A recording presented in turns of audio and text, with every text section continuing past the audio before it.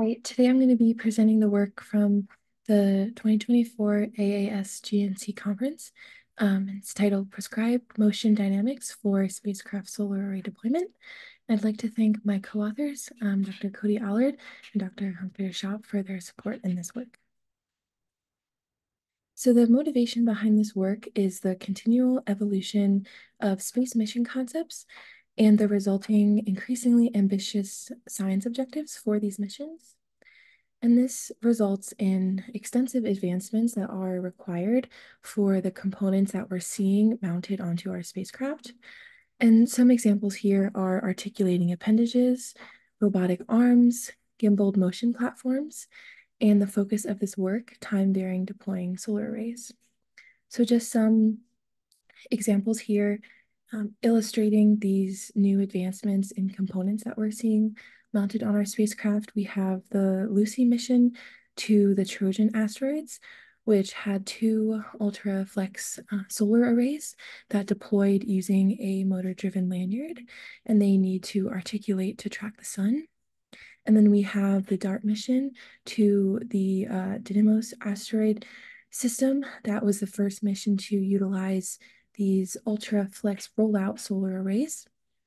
And then finally, we have the Lunar Gateway that is proposed to host the Canadarm3, which will have an eight and a half meter long robotic arm that will assist with orbital um, servicing and docking of modules onto the gateway and also assist with astronaut spacewalks.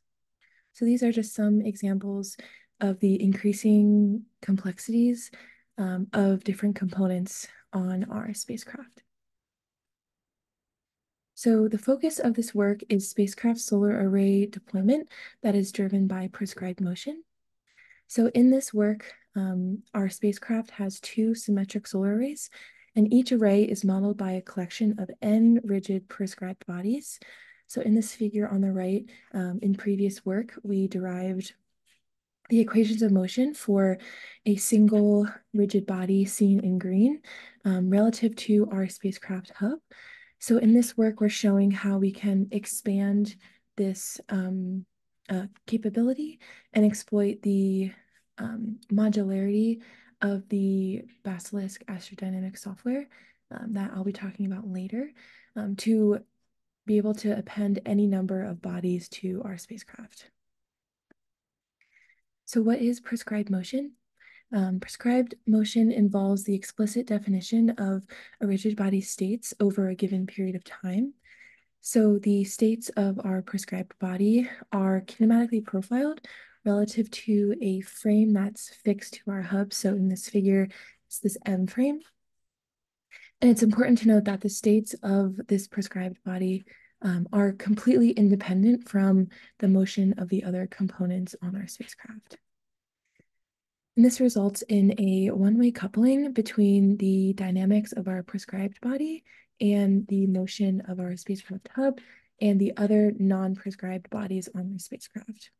So in this figure here, um, we can see the um, on the right side, the prescribed states of our body, um, the translational and rotational states are all written relative to this mount frame M. So in previous work, um, we derived the translational and, and, rotational equations of motion shown here um, for a single rigid body connected to our spacecraft hub. Um, and so this work is really showing how we can add any number of bodies to our hub um, using these equations of motion. Um, however, we need to profile the motion of each of these bodies um, relative to our hub. So this work um, illustrates two main uh, prescribed motion solar array deployment scenarios. The first is a rotational scenario that's inspired by Lucy. And the second is a telescoping scenario that is inspired by DART. So for our rotational scenario, um, all of the array elements begin stacked together in a wedge shape. Um, in this upper left figure, that is the stowed configuration. Um, and then we can see that array one fully deploys um, before we start deploying array two. Um, so the initial deployment phase for array one has all of the elements rotating downwards um, all together in that wedge. And then in the main um, deployment phase for the arrays, the array elements unfurl. And then we can see that um, occurring as well for array two. And in our um, telescoping case, we see the stowed configuration here on the right. And then the initial deployment phase for each array has a pure rotation of all the elements upwards. And then during the main deployment phase here, all of the elements purely translate away from our hub. And then we see the same thing for array two. So next, to really illustrate the generality and um, reconfigurability of these modules that we have previously um, implemented in software, we wanted to show two different types of the main um, unfurling of our arrays. So on the left side, um, in the upper left, we have a rigid um, rotational case where all of the array elements move together as one and they sequentially lock into place until at the final time, only that last array element is moving and then locks into place. And this contrasts with the lanyard case where all of the array elements, um, we're trying to um, mock a, um, a string pulling all of those elements out. So they all um, have different acceleration profiles. Um, and then all of those array elements lock into place together at the final time. And then on the right side, we see the rigid um, telescoping case. And here, all the array elements are one by one pushed out from our hub. So um, in contrast to the rigid rotational case, where um, each of the elements locks into place uh, sequentially, here, um, all of the array elements lock into place together at the final time because they're being pushed away from the hub. And then finally, our lanyard uh, telescoping case again, we're trying to um, pull all of those elements by a string so they all um, start to move um, together at the beginning of that main unfurlment phase, and they all lock into place together at the final time. And I'm not going to be going into any of the math for how we are profiling um, the motion of these elements because we um, discussed that in previous work. Um, however, essentially for the rigid cases shown here, we apply a bang bang acceleration profile with a coast period of zero acceleration in between um, those um, accelerations. So for each array element that locks into place, we apply that acceleration profile. Um, however, in the lanyard cases, the entire um, unfurlment of the arrays, all of the elements are in a coast period. So we only apply that bang bang acceleration at the very start of the unfurlment and the very end. So next, I just wanted to show all the frames that are required um, to simulate these scenarios.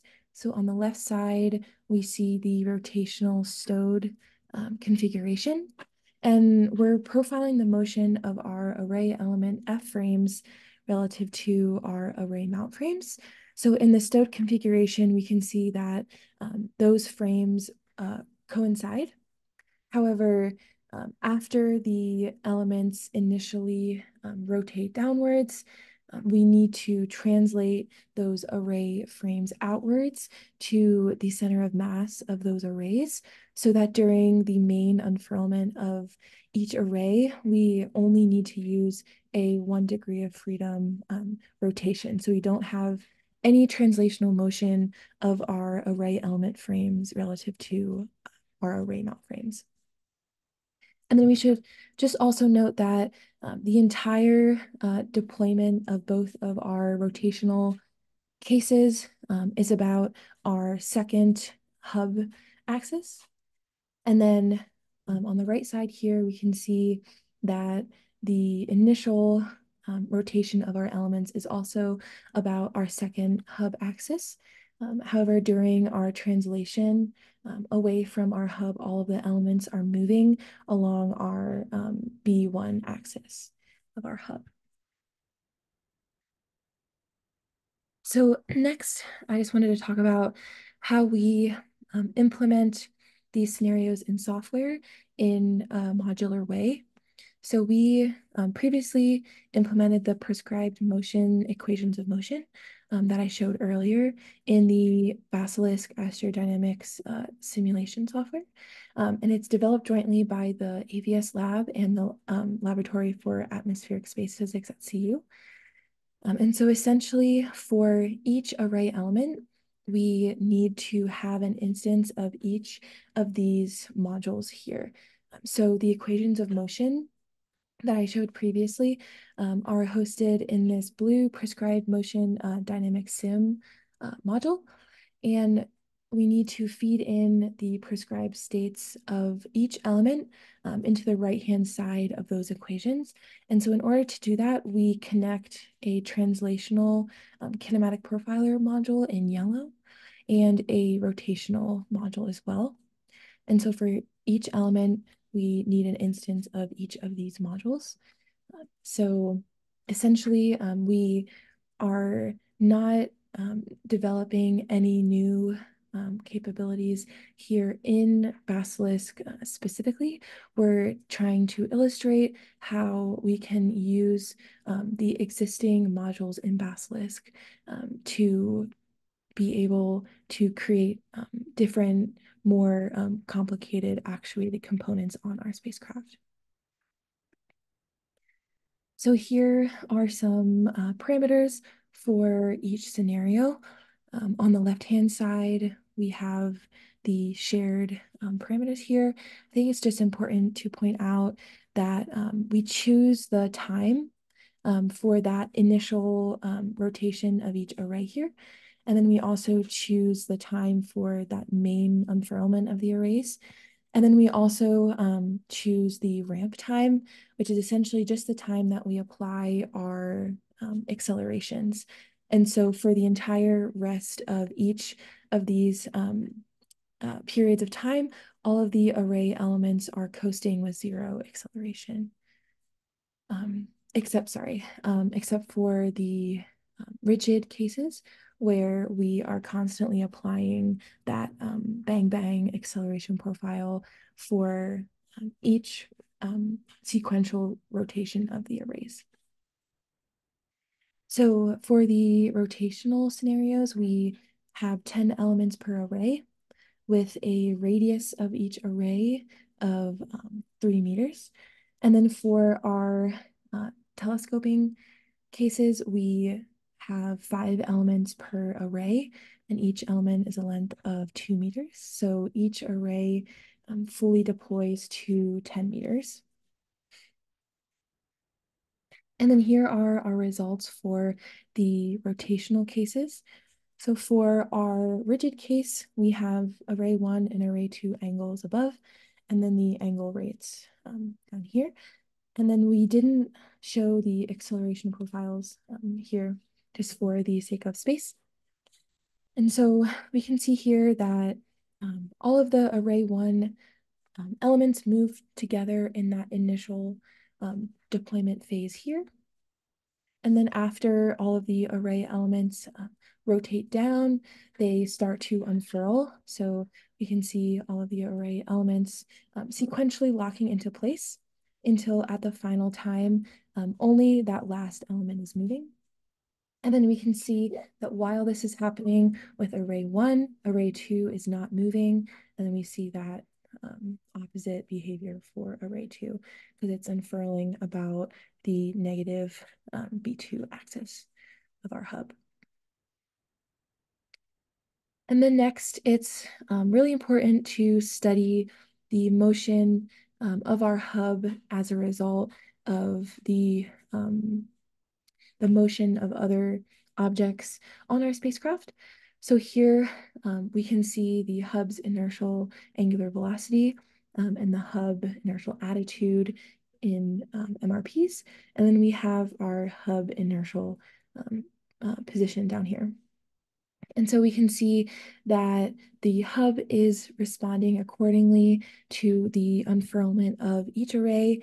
We can especially see here in our hub rate plot um, that because the arrays for array one, um, it rotates uh, positively about the B2 axis. We see the hub um, moving opposite to that about our um, second B2 axis as well.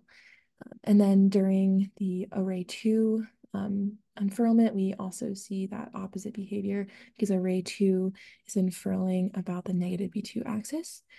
Um, and then all of these jumps um, for our hub rate are a result of applying that um, bang bang acceleration at the start and end of each um, rotation of each array. So we can see that the hub starts and ends at a state of rest. Um, and we can um, conclude here that our hub is responding accordingly to the motion of our array elements. And next for our lanyard case, um, we see also initially all of the array elements um, rotating uh, together here.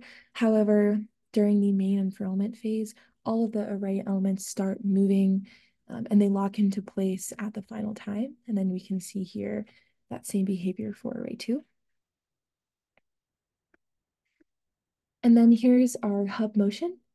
Um, it's interesting really to note that our hub rate during that main unfurlment phase for each array is much smoother. Um, and this is because we're only applying those accelerations at the very start and the very end um, of that of those unfurlment um, phases. So we can also see here that our hub is responding accordingly to the unfurlment of these arrays. And so next for our um, telescoping rigid case, which is a bit more interesting because we have a rotation and translation for each array. Um, we can see for array one, all of the array elements initially um, rotate upwards. So they're rotating about the um, negative B2 axis. And then all of the array elements start to translate along the positive B1 axis of our hub. Um, and then we can see here that all of the array elements are being pushed out away from our hub, so they all lock into place at the final time as we're expecting. And then we see the same behavior for array two. And so next we can see the impact on our hub here. Um, we can again see these jumps in our hub rate due to applying those accelerations um, for each element. And then it's interesting to see this um, bottom right plot where because our array elements are mainly um, translating for array one about the um, positive B1 axis, we can see that the hub moves um, opposite to that uh, primarily along our B1 axis. Um, and then for array two, the array elements translate about the negative B1 axis. So we can see here that the hub is moving opposite to that as well. Um, and this is the motion of our hub um, point B. So during the um, rotation upwards of, of each array, we also see some uh, motion about our um, B3 axis as well. And then finally, for our telescoping lanyard case, we can see again that both of the arrays initially um, rotate, followed by um, each of the elements moving with a different acceleration profile, and they all snap into place at that final time as well for both arrays. And then here we can see the motion of our hub again. Uh, we can see that the hub angular velocity is much smoother here, which is very similar to our rotational lanyard case because we're only applying those accelerations at the start and end of the unfurlment of the arrays. And again, we can see that same behavior for our hub's attitude and the um, position of our hub uh, responding accordingly to the motion of our array elements. And so I just wanted to illustrate um, really clearly the uh, the difference between the rigid and the lanyard cases. So here in the lanyard case, we're kind of pulling a string on all of the elements so they all start unfurling uh, together and they all snap into place at the final time. Whereas for our rigid case, all of the elements rotate as one together and they sequentially lock into place. And then we see the same thing here for our um, telescoping scenario, where for our rigid case, we can see each of the array elements has the same spacing here because one by one they're being pushed out away from our hub. However, in our lanyard cases, we can see all the array frames gradually begin to move um, farther and farther apart until they all lock into place at the final time here. So we're kind of pulling a string on these elements. So in conclusion, a rapid generalized method is presented to simulate prescribed spacecraft components consisting of multiple connected rigid elements. And we um, illustrated four distinct solar array um, deployment scenarios that we implemented in Basilisk. Um, and this was really to show the generality and reconfigurability of the previously implemented modules in Basilisk. And then looking at this figure here on the right, um, we're plotting the magnitude of our hub rate for all four um, cases here. And we can see that the rotational cases had a greater impact on our hub motion, especially our hub rate here. Um, we can see that for all the cases, our hub rate um, remains very small, um, which is great. Um, however, for our rotational cases, we can see that the hub rate um, is generally larger um, during all the phases of the unfurlment of each array. And then um, in the future, we really want to investigate the impact of the array unfurlments on our hub uh, motion more by varying the um, time of the array um, unfurling, the different acceleration profiles, the um, ramp time for the accelerations, um, and the um, size and shape and different um, properties of our arrays. So with that, thank you for your attention. And if you have any questions, please feel free to reach out to me at this email. Thank you.